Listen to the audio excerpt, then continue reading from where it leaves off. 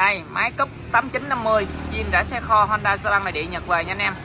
Chị biết sao máy này máy 89 máy này là máy à, anh em hay xài Việt Nam mình kêu là máy cúp đèn vuông 8950 máy này là máy dòng máy à, cúp 50 đèn vuông đời đầu.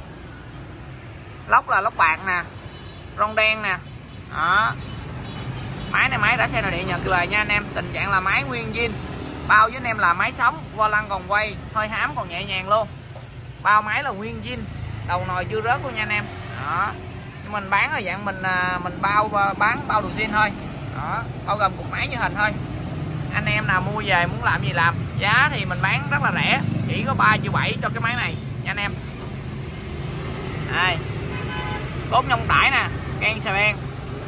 Lóc là sân viên nha anh em, không bắn cốt nè ốc đầu, ốc lòng là nguyên viên chưa đụng chạm nha. Đó, chưa có dấu mở kia luôn. Đầu bông keo đẹp ốc tán là còn đẹp luôn nha. Đúng máy cấp 8950 đời đầu nha anh em. Đó, máy đúng đã xe nội địa nhật về chưa vệ sinh luôn. Đó, củ đề nè. Củ đề kia là chưa có đụng chạm gì hết. Lốp là còn tem zin luôn rõ nét nha. Rồi cái máy này mình bán giá chỉ 3 triệu 7 nha anh em.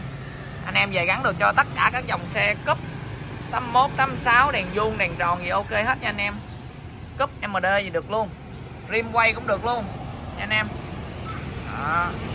rồi, giá 3 triệu 7 bán bao zin, không lấy đồ, đúng máy cúp 8950 đời đầu lóc sơn bạc giá thì 3 triệu 7 anh em cần xài alo mình.